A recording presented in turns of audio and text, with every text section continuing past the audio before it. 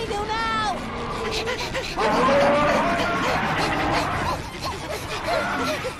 I got it! SpongeBob, you still got that paperclip and that string?